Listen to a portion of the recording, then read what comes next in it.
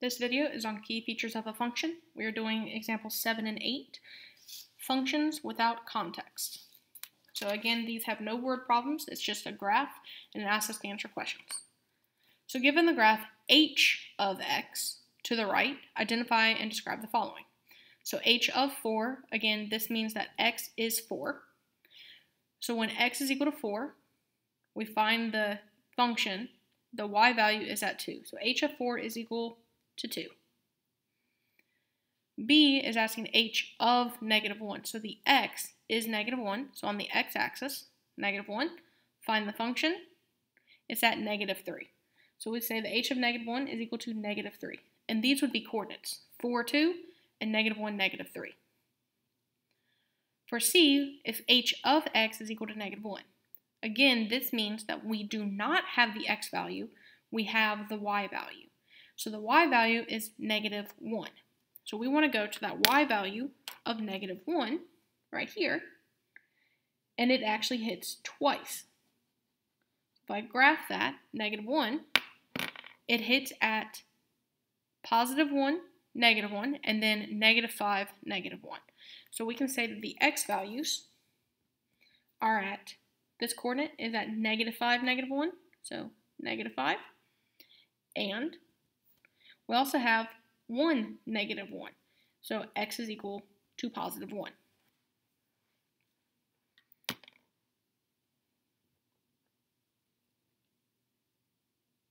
On part D,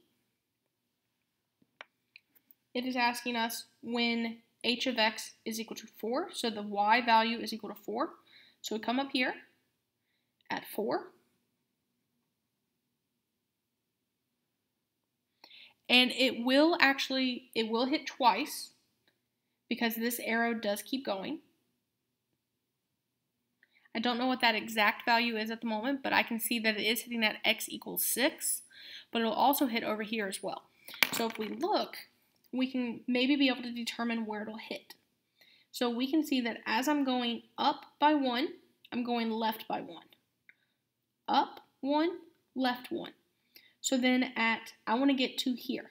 So right now this is at negative 6. This would be negative 7. This would be negative 8, negative 9, negative 10. So I will actually hit it at negative 10 as well.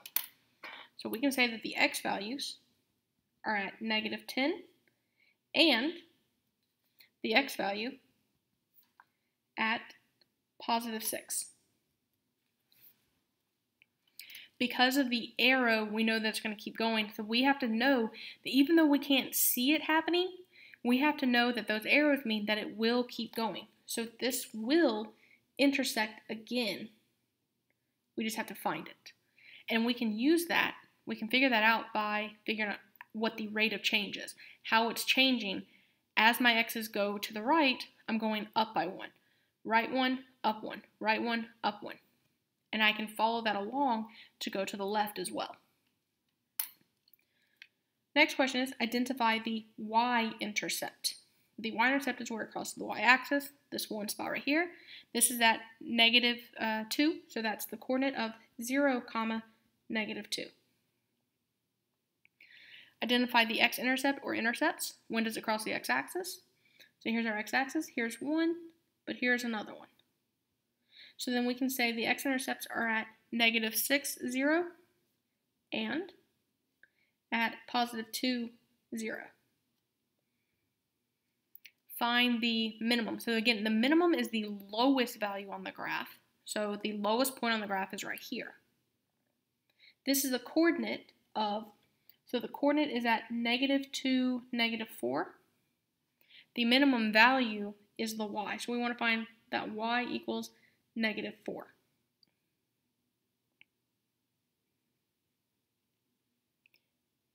For what interval is a function increasing and decreasing? So increasing, I'm going to again use an orange. And then my decreasing is going to be in green. So I need to figure out where it starts increasing and decreasing. So on the graph, I'm going to start over here on the farthest left point that I have which it is an arrow, so remember it does go on forever. But as I start on this side, I need to make sure my graph goes to the right and I need to follow my graph as I go right. So as I go right, I'm going down, down, down, down. So this is decreasing, and then it stops here. And then it starts to increase as I go up, up, up. So decreasing is that green. So this is the green part. This is decreasing. It stops. And then it starts going back up. So then we can write this. Because this keeps going on forever, I'm only going to have one inequality. So I'm going to have one just symbol. It's my x for both x, x. Now it actually starts and stops at the same spot. It's at that negative 2, the x value of negative 2.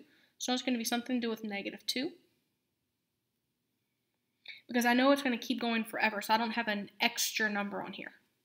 So it's increasing, so the orange is at negative 2, but it's all the numbers that are bigger than negative 2. So I'm going to say it's greater than negative 2. So decreasing, the green, I'm going to have all these negative 2 then negative 3, negative 4, everything that's smaller than negative 2. So I'm going to say x is less than negative 2. Again, I didn't put the equal to part because it's not increasing or decreasing at that value. That's where that minimum is. And on this last question, given the graph p of x to the right, again, it just means y equals, identify the following. So p of 3, x is equal to 3, so that y value would be at about 3 and a half. So P of 3 is equal to 3 and a half. B, P of negative 1, so X is negative 1. We'll go to the X value of negative 1, and we'll find our graph. Looks to be at about 7 and a half. So P of negative 1 is equal to 7 and a half. G of X equals 6. So again, the Y value is 6. We need to know the X. So we're going to go to that Y value of 6. Here's that 6. And we're going to see how many times it crosses. It crosses there twice. Those coordinates, this coordinate here and that coordinate there. So the x values there are at negative 2 and this coordinate, the x value is at positive 2.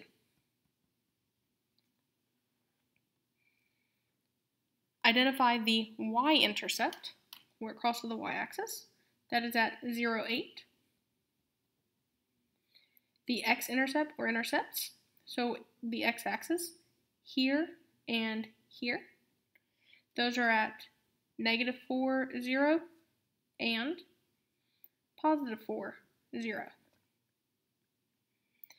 Find the maximum, so the highest point on the graph is up here, which is also the coordinate of 0, 8.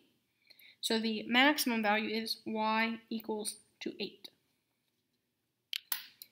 So now we're finding the interval of decreasing and increasing. So again, decreasing, I'm going to do the same color of highlighting in green. And increase, I'm going to highlight in orange.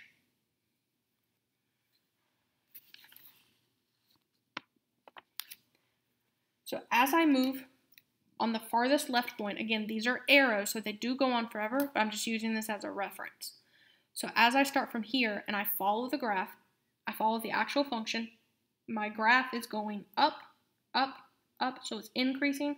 This is going to be orange, and then it comes to a peak, and then it comes back down, so now it's decreasing. This will be my green. So my orange will be all the way from here to the peak, that maximum, and then my green will be from that maximum all the way back down. Now remember, those arrows mean they go on forever. That So that means I'm only going to have one number to represent this. I'm not going to have two inequalities. I'm just going to have one inequality for each. So now I'm going to have my x and my x. The x value where it stops would be at that x value of 0.